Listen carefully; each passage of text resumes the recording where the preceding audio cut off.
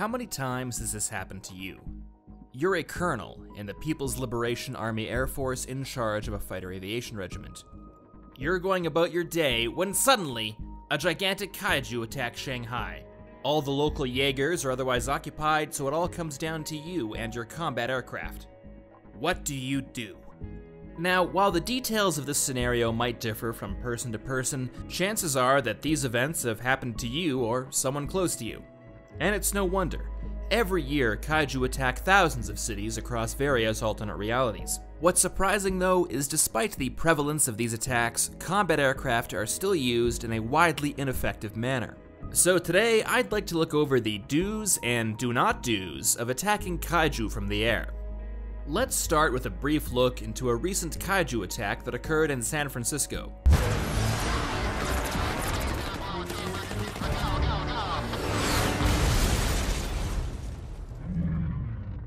Ouch. Do you see what went wrong there? Let's start with the aircraft involved. The F 22 was designed first and foremost as an air superiority fighter. While it does possess some ground attack capabilities, it's meant to shoot down enemy agile, lightly armed fighters, not gigantic lumbering kaiju. And this brings me to Combat Aircraft Anti Kaiju Success Strategy number 1. Use the right tool for the job. In that instance, the F 22 was the wrong choice. A strike fighter or a dedicated bomber would have been able to deliver much more heavy ordnance onto the target. Let's take a look at how this could have gone. Oh god. Those aren't gonna hit us, are they? Oh my god, they hit it! They just hit it right now! You guys, they just hit it! They hit it with... Oh my god! Well, that's an improvement. But did you catch what else went wrong in that original clip? The F 22 has a service ceiling of 65,000 feet, so why was it flying so low to the ground? This brings me to Combat Aircraft Anti Kaiju Success Strategy number 2. Don't fly so low to the ground.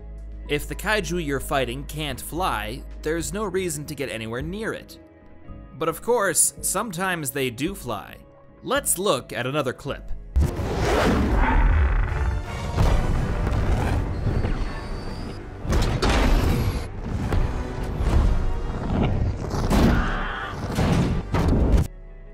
Well, that didn't go very well either. And it's all because they didn't follow Combat Aircraft Anti Kaiju Success Strategy number 3 Maintain Distance. Modern anti ship missiles have a range of well over 100 miles, so there's no reason to close the distance like those F 35s tried to. And once the missiles have been fired, why stick around? This isn't some air show, this is a combat mission.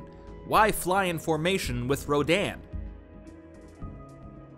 But sometimes you can do everything right and still not have things go to plan. Let's take a look at another clip.